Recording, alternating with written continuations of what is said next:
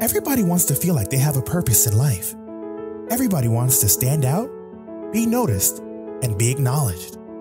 With notoriety comes clout. But how much clout is too much clout? What happens when all you care about is the follower count? What happens when you're willing to do or say anything for the views? Cloutrin can help. Cloutrin is a prescription medication that can treat the many symptoms of clout chasing. No more do you have to resort to tweeting out the riskiest of tweets. No longer do you have the need to name drop when talking amongst your peers. Studies have shown that these irrational tweets and videos are due to an excess buildup of a chemical called clownethol. By taking two pills daily, Cloutrin can help reduce the amount of clownethol in your body.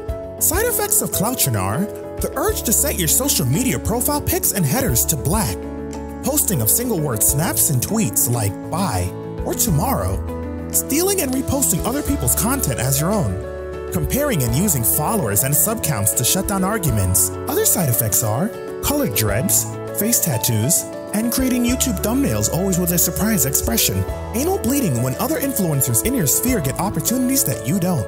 Posting, wow, this blew up after 12 likes and 3 retweets. Ask your doctor about Cloutrin the next time you have the sudden craving to record yourself licking ice cream in the frozen aisle.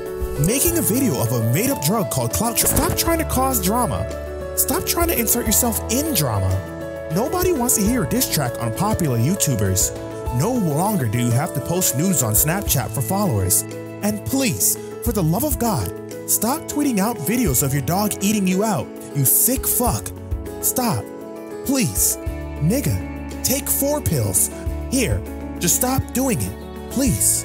Do us all a favor. Shut the fuck up and take a pill of Cloutrin because you are clout chasing hard. They do anything for clout. Do anything for clout.